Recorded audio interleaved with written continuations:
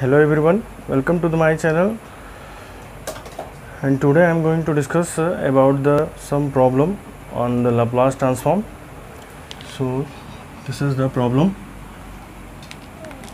The first problem is uh, laplace of sine of at is equal to a upon h square plus a square s square plus a square and second is l of cos at equal to s upon s square plus a square where s is greater than 0 and then third is Laplace of sine of hyperbolic at a upon s square minus a square and the last is Laplace of cos hyperbolic at equal s upon s square minus a square where s is greater than modulus of a so सबसे पहले first question करेंगे तो पहले question के लिए हम क्या करेंगे पहले कंसिडर करेंगे let's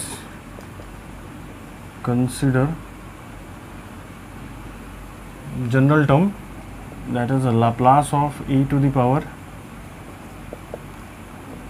i a t क्योंकि हम जानते हैं कि जो e का पावर i a t है वो कुछ इस तरह का है जैसे हम i थीटा को चेंज करते हैं तो ये आता है cos theta plus i sin theta e to the power i theta equal cos theta plus i sine theta उसी तरीके से हम इसे ब्रेक करेंगे तो हमें मिलेगा cos of A T plus i sine of A T और हमें लाप्लास जो बताना है वो साइन ऑफ़ ए टी का बताना है और यहाँ कॉस ऑफ़ ए टी का है। तो लगभग दोनों क्वेश्चन एक साथ हो जाएँगे इसके साथ। लाप्लास ऑफ़ हम पहले फाइंड करेंगे Laplace of E to the power i A T तो इसके लिए फॉर्मूला हम जानते हैं Laplace of any function of t equal to 0 to infinite e to the power minus st f of t dt. So, here f t is e to the power i a t. So, substituting here the L that is Laplace of e to the power i a t equal to 0 to infinite e to the power minus s t and this is a e to the power iat dt so, this will give a to the power minus s minus a of t dt this is ia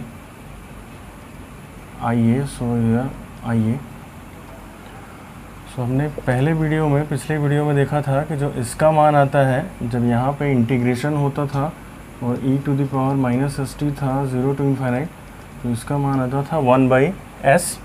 उसी तरीके से यहाँ क्या आएगा? One by S minus A. Simple integration है और कुछ नहीं। तो इसका जो मान आएगा, one minus, one upon S minus i A. Clear? तो इसको अगर हम थोड़ा रेशनलाइज करेंगे तो S plus i A upon S plus i A, और ये देगा S plus i A upon S square plus A square this is a and this is equal to e to the power i at. बस so S plus i A upon S square plus A square अब इसको हम लिख सकते हैं कुछ इस तरह से. Laplace of cos A T plus i sine A T and this is equal S upon s square plus a square plus i a upon s square plus a square. Simple. Separate this term now this is a l cos of 80 plus i l sine of 80 equal to s upon s square plus a square plus i a upon s square plus A square. तो यहाँ से अगर हम दोनों side को compare करें real और imaginary part को तो हमें क्या मिलेगा? So this is a real part और यहाँ पे ये रियल पार्ट है, यहाँ पे ये इमेजिनरी पार्ट है, और यहाँ पर ये इमेजिनरी पार्ट है। तो अगर हम इन दोनों को कंपेयर करें तो हमें क्या मिलेगा? तो ये पहला वाला देगा L of cos AT equal to S upon तो that is L of cos AT equal S upon S square plus A square ये रहा दूसरा क्वेश्चन और L of sine AT equal to A upon S square plus A square तो दो question हो गए। पहला वाला भी और दूसरा वाला एक साथ। एक बार हम फिर से बता दे रहे हैं, कुछ नहीं था इसमें। एक जनरल टर्म हमने यूज़ किया है इस तरह से, क्योंकि E to the power i theta इतना होता है तो E to the power i A T को हम इतना लिख सकते हैं। तो Laplace of E to the power i T जब हम बाई डेफिनीशन सॉल्व करेंगे तो Laplace of E to the power i T होगा E to the power minus S T और this term is from here this is F of T और ये simple index एक साथ हो गए फिर इसके बाद सिंपल कैलकुलेशन है, और कुछ नहीं। इसके बाद तीसरा क्वेश्चन है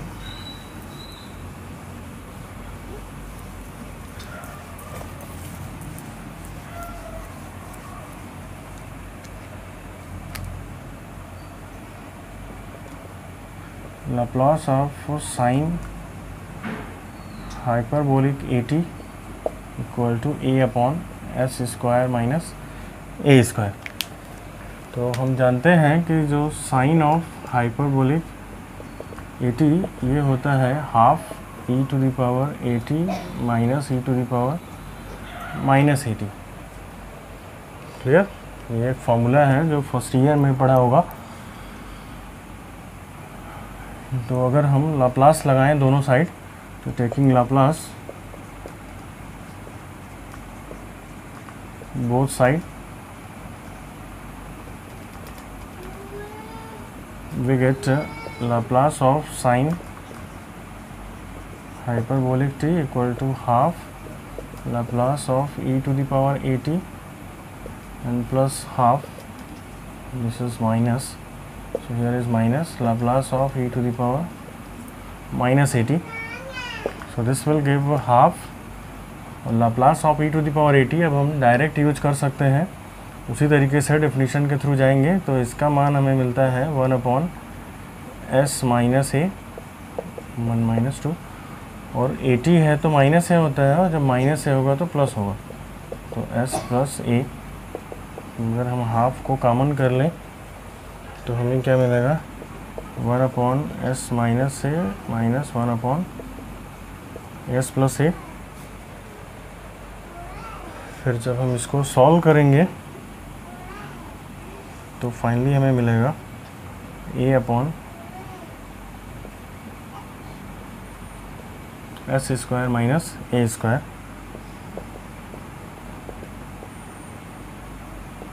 Sine of H A T. so this is the third question. Right? This is the third. Similarly we can solve the equation the question 4 question 4 simply we put here cos of hat and this uh, I will show this is s upon s square minus a square. तो हम जानते हैं कि sine of H E T ये था cos of H of A T होता है। यहाँ पे प्लस साइन होता है। Plus so simply this becomes plus plus plus तो यहाँ पे ए वाला टर्म कैंसिल हो जाएगा और यहाँ बचेगा एस वाला टर्म तो ये रहा आपका चौथा question I think it is very easy I hope कि लगभग सबको समझ में आया होगा. And thanks for watching this video and this is all about for this video thanks for watching video thank you